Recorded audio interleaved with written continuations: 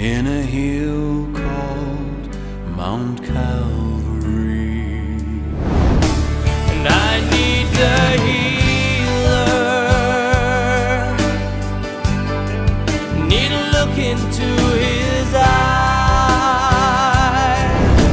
He was born of a virgin one holy night in a little town of Bethlehem.